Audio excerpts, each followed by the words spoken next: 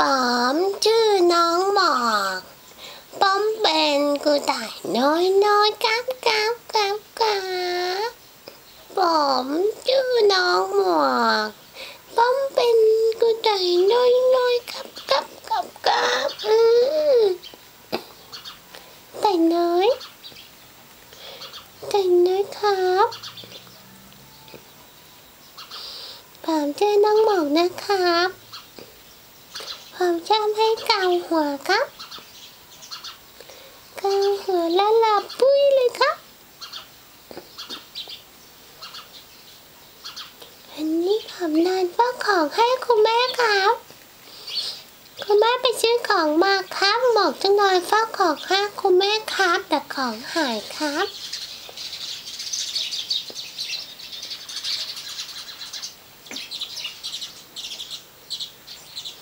งานตั้งของก่อนครับบ๊ายบายครับ